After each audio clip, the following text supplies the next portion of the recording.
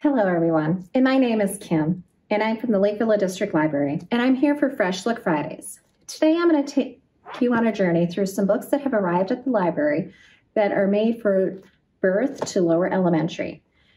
They're picture books you can read aloud to your children when they're small, up to beginner readers, up to the sixth graders that are ready to move on.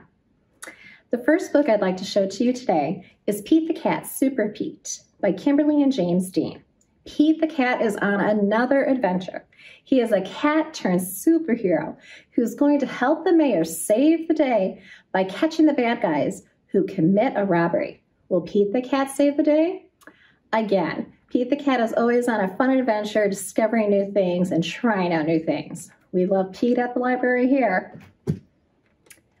Unicorn and Yeti, cheer up. This is another Blue Dot book, a beginner reader book that you can check out from the library. Unicorn and Yeti go on three adventures, three short stories throughout this book. So your beginner reader can take their time and split the story up so they can uh, read the book at their own pace. The text and dialogue is sort of set up like a graphic novel as well too. The text is in speech bubbles of what Unicorn and Yeti both say. So this way your beginner readers can take their time and just focus on what's in the speech bubble. Join Unicorn and Yeti as they go on an adventure on a trail. They try some icicles to see if it's a tasty treat. And we're going to see what Unicorn gives Yeti for a gift. You'll have to read to find out and see if Yeti likes it.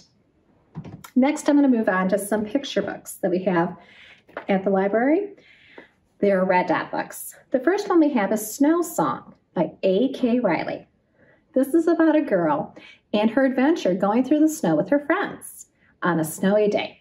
The illustrations are beautiful, and the perspective of the illustrations take on a different look on every other page. They did an amazing job with it.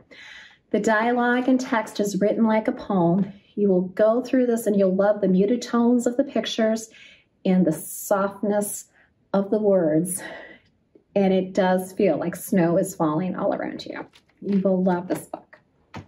Do you like donuts? I love donuts. So if you like donuts and I love donuts, then you're going to love this book that I loved Hello, Arnie and Arnie the Donut Story by Laurie Keller. You're going to join Arnie on an adventure trying to figure out what kind of donut you are. He knows all the donuts and he's going to go through his list and try to figure out which donut you are. You will see what Arnie has decided what kind of donut you are in the end and see if you'll be hungry after reading this story like I was. You'll love it. And our last book that I'd like to share with you is actually a graphic novel in our youth section. It's Measuring Up by Lily Lamotte. This is by far my favorite graphic novel of the year so far. It is a refreshing story about a girl named Cece and her family. Cece decides to join a cooking class and test her strength and knowledge of all her cooking skills that she learned from her grandma.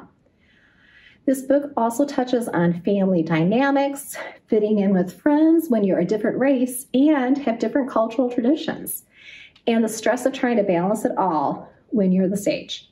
This book is a must read. It is a breath of fresh air. Definitely great for those middle schoolers, late elementary kids. A must read for sure. Well, thank you so much for joining me, and I hope you have a great day. Please join us next time in finding out what new books have arrived at the library. Goodbye.